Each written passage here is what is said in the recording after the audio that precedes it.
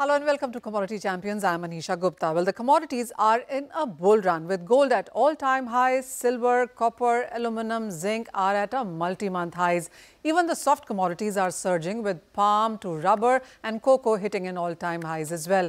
There is support from geopolitical tensions in the Middle East to upcoming elections in many countries, inflation concerns, supply disruptions, improving economic data and Chinese demand. Add to that, the volatile fiat currencies have all led to buying in tangible commodities. With our experts today, we discuss on the part commodities can play in your portfolio. Joining us now is Lakshmi Iyer, CEO of Investment and Strategy at Kotak Alternative Asset Managers, and Vikram Dhawan is Fund Manager, Commodities at Nippon India Mutual Fund. Thank you so much for joining us. Lakshmi, let me start with you. I do understand that when it comes to India, there is a lot more bent towards equities and very less towards other asset classes. But what is it that you've sensed in last few years, especially now when commodities do look like the flavor of the season? Yeah, hi Manisha. So yes, uh, typically uh, the the natural tendency is to allocate to financial asset classes, which is largely equities and fixed income. And within that, also uh, depending on which theme is likely to do well, there is a tendency to allocate um, uh, to sectors. And within that, obviously, commodities do play an important role. But over the last few years, I think we've seen investor interest uh, gravitate towards not just uh, pure play uh, uh financial asset classes, but also looking at mediums um, uh, to participate in the commodities uh, as a sector on a slightly broader basis, uh, beginning with obviously precious metals, but uh, slowly and steadily you see it percolating to other commodities as well. But yes, predominantly gold and silver within the commodities pack uh, seem to be the preferred way for investors to participate. Hmm. Lakshmi, you know, when you talk to people and they say, oh, I have a long-term portfolio which I don't touch on these day-to-day -day or weekly or monthly uh, volatilities, how would you look at the definition of a, near-term portfolio and a longer-term portfolio? So, Manisha, near-term can be next uh, one hour, uh, one week, one month. But when you are preparing and planning for your larger goals, your portfolios have to have uh, much longevity. And when I say longevity, it is north of thousand days. So anything tops of three years, three to five, seven years. I think that's the kind of minimum uh, long-term investment outlook that one needs to have. Um, and if you are a fill it, shut it, forget it kind of an investor, then you should look at a 10 year plus. So I think um, uh, the definition of short term and long term obviously will vary from people to people. But I think ballpark, if you look at a thousand day plus horizon, which is three years plus plus, I think it's a reasonable good horizon for any asset class to actually play or you know play out in your favor. Mm. Vikram, your initial comments as well when it comes to India portfolio and the way we create it and the uh, and the space or place or spot that commodities have within that. Um, hi, Manisha. Thank you for inviting me on your show. Uh, I think I'll add, I'll add to what uh, Lakshmi said. And it, see, we are a commodity deficit country. I mean, uh, whether it is crude oil, gold, silver, even uh, in the new age metals, the battery metals, etc., uh, we don't have any significant capacities to produce to cater to uh, domestic demand. But the unfortunate irony is that, you know, unlike you know, let's say maybe a Japan or let's say most of Europe, where they have given up on their local domestic, uh, you know, exchanges and they basically, you know, hedge or trade through either New York or London, or you have China, which has got a very strong homegrown commodities market. We are actually in the middle. Uh, we are neither uh, there or here. So I think what needs to be done is we need to have a very clear policy either we have a big thrust towards developing the Indian markets, which which live up to the global standards, or, and if that is something which is not viable, then I think even the local investors, local funds, should be permitted to you know ac uh, permitted access to the overseas uh, commodity markets. So unless we come out of this range, there will not be any significant traction or significant interest, neither from the uh, fund houses, investors, or, or the participants. Mm. So Vikram, as you as you said, India is a commodity deficit country, but an increasing population and increasingly increasing thrust also when it comes to infrastructure and construction and defense and uh, make in India as per se, where you do need all of these commodities, but there are hardly any hedging mechanisms or investing mechanisms for that matter for a longer term portfolio.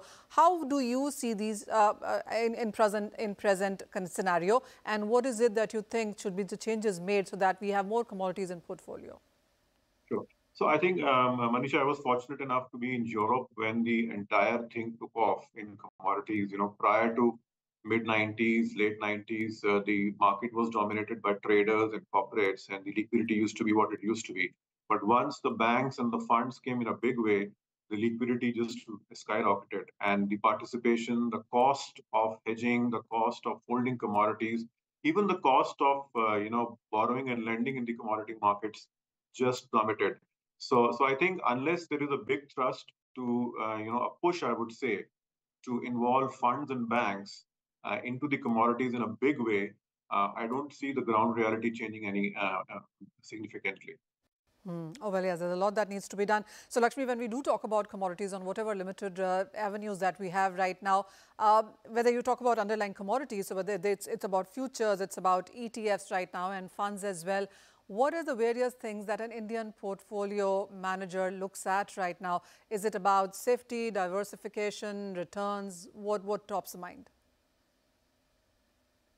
Well, I would say, Manisha, it is uh, all of these that you just mentioned in varying proportion. Uh, liquidity definitely is of paramount importance mm.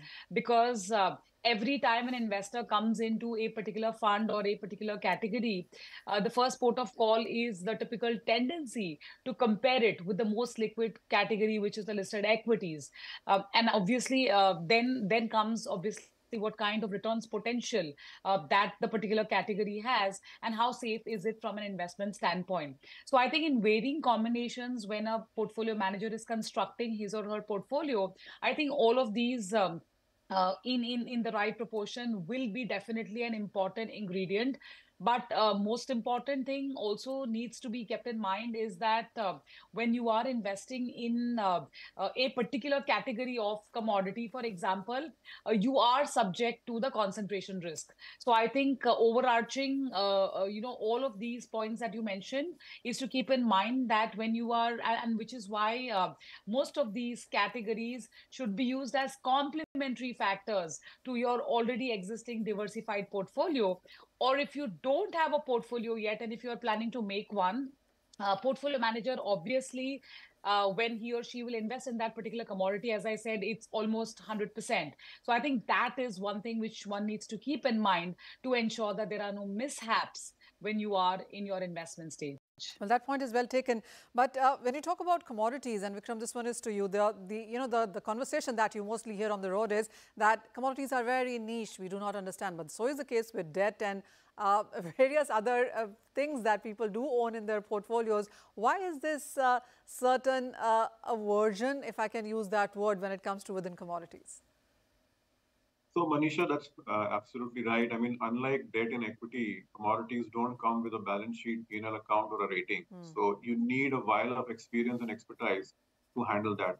Unfortunately, you know, I mean, to take the extrapolate the example of IPL. I mean, when you started IPL, the the bench strength of the Indian cricket team, you know, skyrocketed. So unless you know we have the large institutions which embrace the commodities, I mean, my, uh, you know, asset allocation is a very important. I completely agree with Lakshmi. Asset allocation is, is a very important aspect of commodities. But I think we have to go beyond now that we have spent about two, three years, um, you know, and the, the response has been good.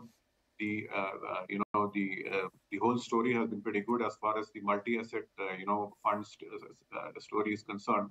I think now it's time to go way beyond that and maybe look at standalone commodity funds, which are the need of the hour. I mean, you know, we only talk about crude oil when it is approaching $90 or $100 and we have not even thought about the strategy about battery metals. So when mm. if we want to become green tech superpower or a or an EV superpower, then you know uh, where is that uh, you know uh, sort of hedging mechanism or investing mechanism for the common investors? So I think there's a lot to be done over here. Oh, I totally agree with that. But with that, we'll have to just slip into a very short break. But don't go anywhere because when we come back, we'll have this discussion continuing with our guests. We'll tell you or we'll ask them on what commodities should be in your portfolio and are commodities a good diversifier? Answers to all of those questions after this break.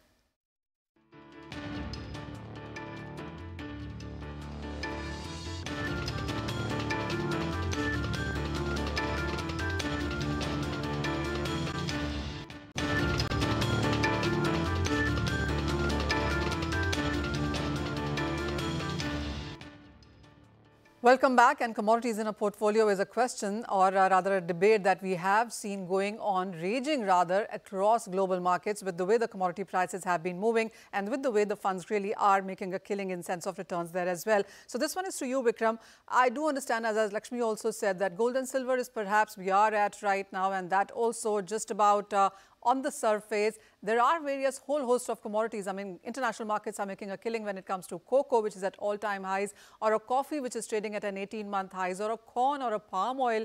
I mean, wh where is India when it when it comes to all of these price moves? So uh, let me tell you how the you know uh, the introduction of gold and silver ETFs has affected the domestic uh, commodity markets. So today, you know, we don't have a spot exchange as far as gold and silver is concerned. So uh, gold and silver ETFs have become a proxy spot for uh, the Indian market, the listed spot. Otherwise, rest all the spot prices, whether from the exchange or from the you know various association, it's a derived price. But here is a here is a you know security which gives you the perfect spot price uh, as far as the Indian market is concerned. Also, you know, instead of you know uh, buying gold and silver bar and shoving it under your mattress, they remain in the financial market which provide the liquidity and they can be utilized for you know a lot of stuff which you cannot do with uh, gold and silver offline. So i think this is this is one thing which is underappreciated as far as the gold and silver etfs are concerned. It's its contribution to the local market in terms of liquidity and everything else.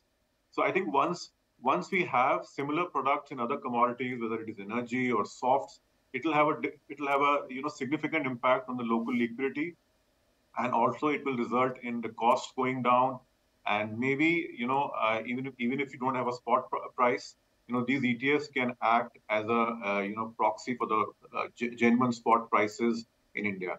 Hmm. So I think that is something which needs to be done for these things to take off. Otherwise, you know, if you only have futures and options, which will have uh, you know today 90% of the liquidity in all exchanges and derivatives is through algo trading, which is not uh, you know dependent upon any sort of fundamentals. So you know you need uh, physically backed products which you know sort of provide the real story, the real picture of the market. Hmm. Vikram, uh, uh, very well said. Uh, and but you know, when you look at the Indian markets itself, we have a futures and options, yes, uh, and then we have ETFs and funds as well coming in. But it took a very long time for gold to just get uh, get in there. Silver has taken another few years, and now we have that as well. How soon, how much before we get metals, energy, and all of these softs? Would you say it's, it's a very very slow process with what we are going through? I think we, as a fraternity, uh, the investment fraternity from the fund side, I think we are equally responsible for the slow of you know uh, process, because uh, you know these things have to be driven at the uh, you know at the association levels. So unless there is a trust, I mean, you have to understand, appreciate the regulator has been uh, fairly brave enough to approve commodities in mutual fund three three four years back uh, considering what happened in the commodities not too long uh, before that. Mm. So I think uh, it's it's really appreciable what SEBI has done despite you know all the apprehensions. And obviously the fund houses have done a good job in you know uh, living up to the expectation in terms of safety, security, liquidity, etc. But I think in a way, uh, you know, right now it is not a focus. As Lakshmi uh, mentioned that you know we are an, still an equity uh, driven uh, market. But I think I, I, always believe, you know, fix the roof before it starts leaking. So, mm. you know, if you want to double your size of the economy, uh, in, well, in percentage terms, the commodity consumption may not skyrocket, but in absolute terms, you know, it will be some gigantic numbers. I mean, today you're consuming 5 million barrels of oil per, oil per day, 800, 900 tons of uh, gold, uh, sorry, uh, five, 900 tons of gold annually. So if the economy size doubles, well, the 5 million will not become 10 million, but you're looking at somewhere around 7 or 8 million barrels per day of oil, 1,200 tons of gold. So it may not show up as a higher number in the current account deficit, but it will be very, very high in absolute terms. And it is not easy to find those commodities on tap. So I think this is a time where, you know, uh, whether it is the regulator or the associations and the various, you know, stakeholders to get together and plan a roadmap so that in the next five, ten years, when we are there, you know, um, you know, we don't have to, you know, sort of uh, uh look for clues what to do at that at that point of time. Hmm. Lakshmi, what's your sense also on what really needs to be done? One and second is uh, with whatever commodities that are available right now with the funds, how much of that uh, should be a part of your portfolio? So Manisha, to your first part of the question, Rome was not built in a day. Uh, you know, it took it took really a long time to get gold and silver uh, into the country, into the ETF format, and obviously, uh, uh, precious metals is something which even the retail investor understands. Uh, whereas, if you talk about the other commodities, specifically the energy pack, which is largely crude oil, or for that matter, base metals, uh, it's predominantly understood by the institutional investor and maybe traded uh, if, if possible, by the retail investor as well. So I think um, uh, making some of these uh, in a basket format uh, available could be a starting point, and and I think it's a happy. Uh, add-on to have as part of the portfolio uh, but as i said to and, and that ties into your second part of the question how much of these kind of um, funds or categories can one have into the portfolio? Well i'd still maintain that these are all complementary uh, you know uh, add-ons to your portfolio. Can it be the core uh, very unlikely given the cyclicality of each of these commodities at varying times and points. You're seeing gold rally today, but has it always been the case? Well, answer is no. So I think focus on core wealth creation, which is predominantly done through equities, have stability through fixed income, but definitely there are opportunistic, uh, you know, options available through commodities, and one should definitely look to harness that, especially in times like these where uh, almost every commodity is shining. Mm. Lakshmi, let me put this question another way as well. Would you call commodities a good diversifier in a portfolio?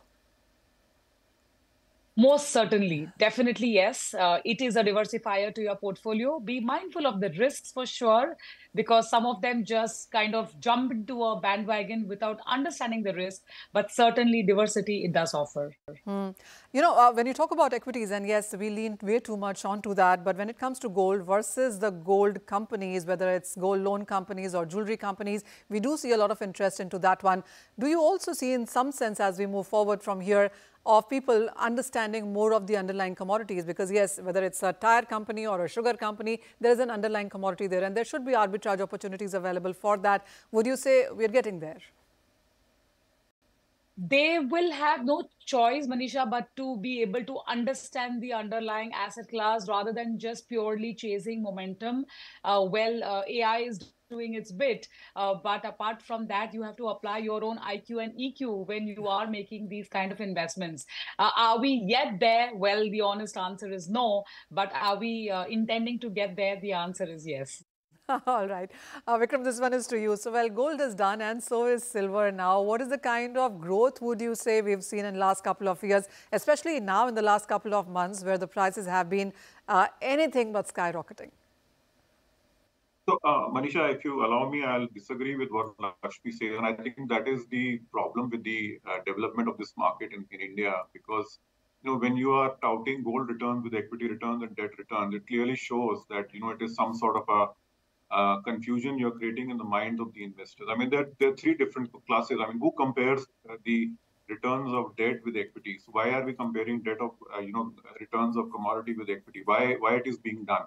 So I think that is the biggest problem, the mindset issue that we have, and that needs to be resolved uh, as far as the development of the Indian market.